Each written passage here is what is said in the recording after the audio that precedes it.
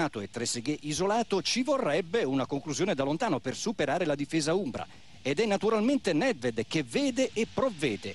29esimo e super gol da oltre 25 metri. Ripetizione assolutamente doverosa di una rete degna del pallone d'oro.